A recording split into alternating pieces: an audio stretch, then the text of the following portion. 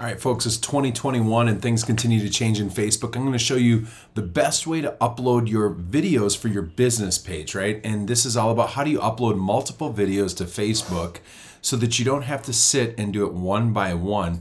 And there's one tool in here that I don't think many people know is that there is a thing called the Creator Studio. Facebook Creator Studio is an extremely powerful tool that I want you to take a look at, right? And uh, one way that you can look there is you can just Google it, right? So um, Facebook Creator Studio. And what this will do is it's kind of a hub for everything that you do in terms of all of your Instagram accounts and your Facebook accounts. So I'll just be real quick with this. When you get here and you have Creator Studio, you have published stuff and pre-published. Now it is uh, June 22nd of 2021. Things continue to change a lot. Um, and often, so if you go to pre-published here and you go to videos, what you can do is hit create new video, upload multiple video files, and you'll be able to drop in as many video files as you want. In fact, I'll do it right here. And as you do that, that's gonna save you a ton of time. You don't have to mess around so much when you're, uh,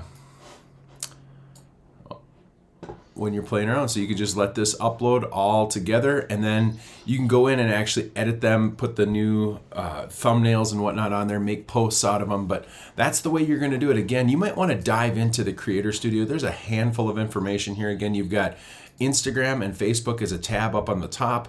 Um, you're able to look at all the different clients you have if you're uh, a place like me. You can even just post from right here. Uh, now we're an agency, we have multiple companies that we do this for, but you can create new posts very easily. And this is, there's also some testing tools you can get in here. There's creative tools, settings, resources, monetization. This is where you're gonna mess with that. So in 2021, and, and probably moving into 2022, if you're trying to upload multiple videos, multiple things, to Facebook, this is where you're going to do it. Good luck. God bless. Head to feedbackwrench.com if you've got any questions. If you'd like help setting up excellent paid advertisements, or if you need a new website that's actually going to help create sales for your small business, whatever that looks like, give us a call. We also do just um, optimizations to the marketing system. So we can set up what we call the, the marketing machine where we would come in and help set up conversions so you can use machine learning ads. And uh, anyways, good luck. God bless.